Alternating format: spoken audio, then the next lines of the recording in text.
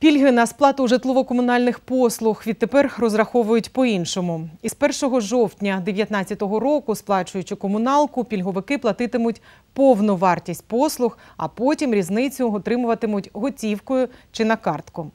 Тепер цим питанням займається управління соціального захисту Дніпровської міської ради. Там є відповідний реєстр про кількість пільговиків та їхню категорію.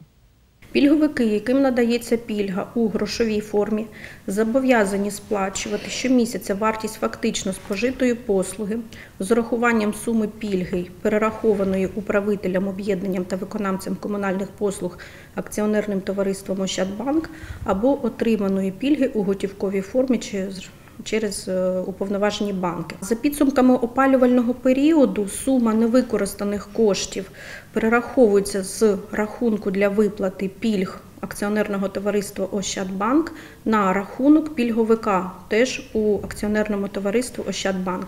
Пільговик має право звернутися до акціонерного товариства Ощадбанк і отримати невикористану суму пільг ну, грошовими коштами.